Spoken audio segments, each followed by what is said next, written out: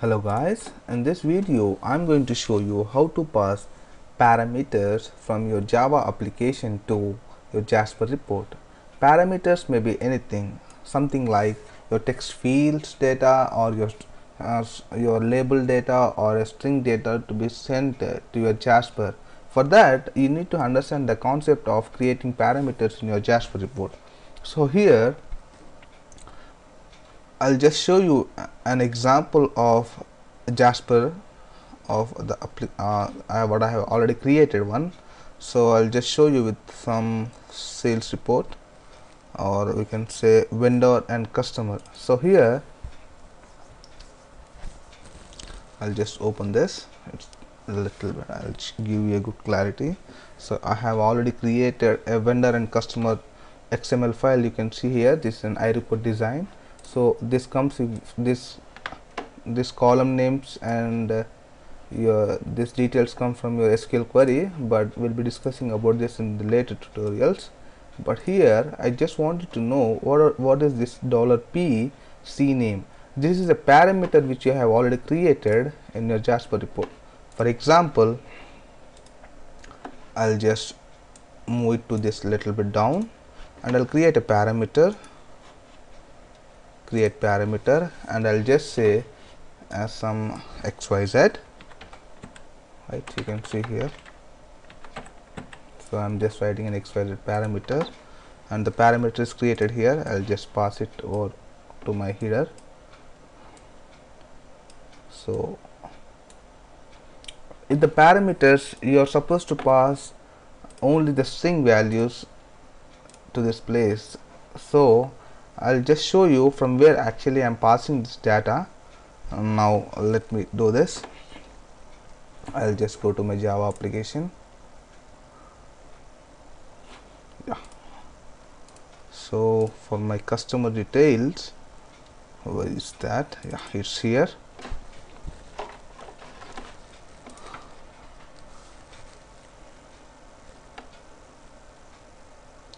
so to save time this I have already written. So I'm just showing you in a shortcut way. On the print function so you can see I have written a common print method. One second.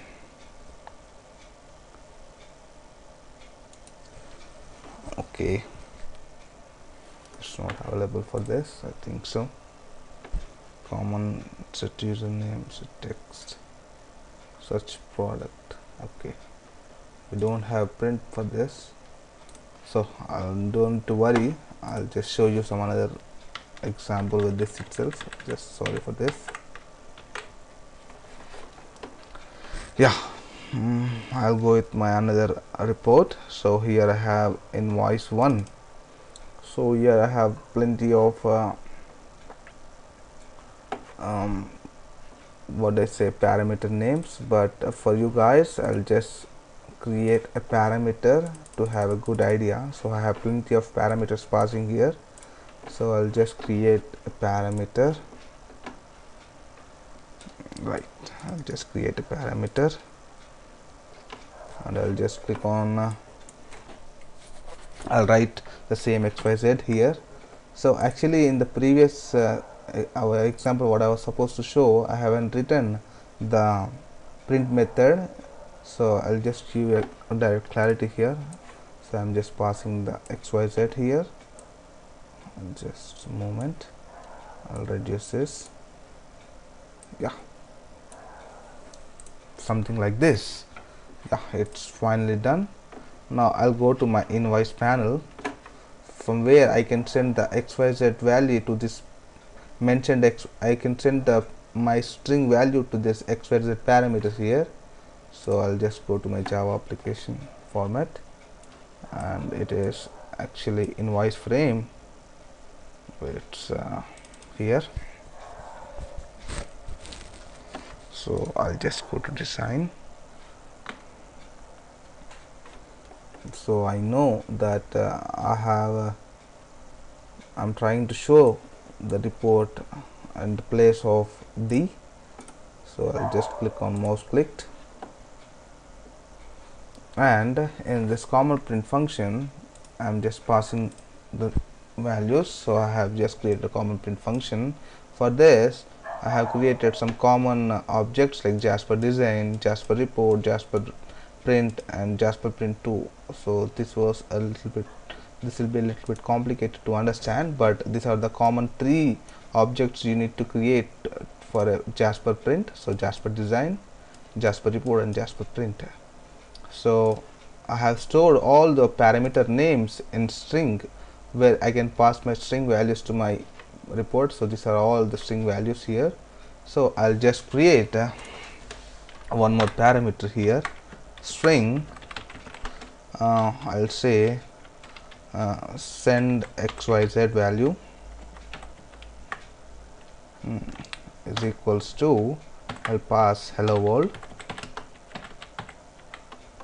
Jasper something like this. So I'll just pass this value I'll just pass this parameter at the place of hash map. So for this I'm just creating a Jasper design object. It's called I'll here Jasper design JD equals to jrxml loader dot load your file to get the absolute path. So my file is in source. Here you can see in the source it is invoice 1 so I can see here in the forward slash source I'm just passing a common name here so that I can use this method for plenty of times. So I'm just passing the Jasper here and dot JRXML file. This is JRXML file here. And uh, I, I must create an hash map uh, to pass the key and value values here. So here I'll just pass my parameter param params dot uh, put your object is in string your Jasper report object is x uh, parameter is xyz and I'm just passing the value send xyz so I'll see what happens when I just check it. I'll click on invoice run it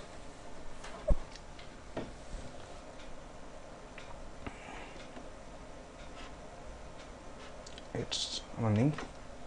Yeah one second. I have a database error here.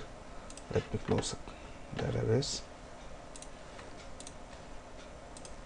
Yeah it's done. I'll again run it. Yeah I'll already show you with one example I have done here.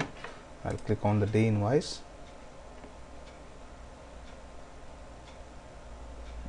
it will show you a preview when you click on this. Yeah. You can see a hello world jasper file is being passed from your uh, string hash map to this. So this is how you can pass your parameters. So i'll show you the complete one. So jasper design query equals new query. New design query equals new query dot set text and you should pass your query here. Whatever the design whatever the f names you have used in your jasper will be passed from this place. And jd equals to set query and i'm passing the query here. And jasper report equals to jasper compiler dot compile report jd and jp dot jasper fill manager dot fill report. Your jasper report parameters are this and you're just passing the connection. So this is how it happened guys. So thank you